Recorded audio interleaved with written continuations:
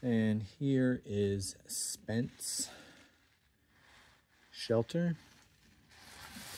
This would be, um, I think this is a third shelter in the Smokies. Pretty cool.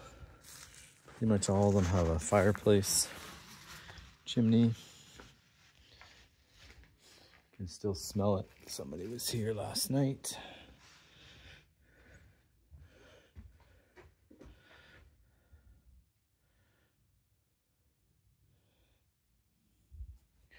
Somebody was nice enough to leave beer.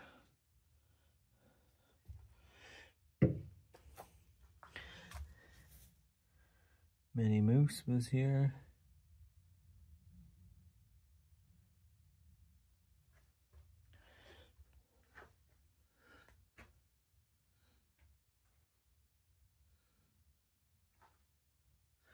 We are only staying here to have something to eat and to get some water. Like I've said before, unless it's raining, we're not staying in a shelter.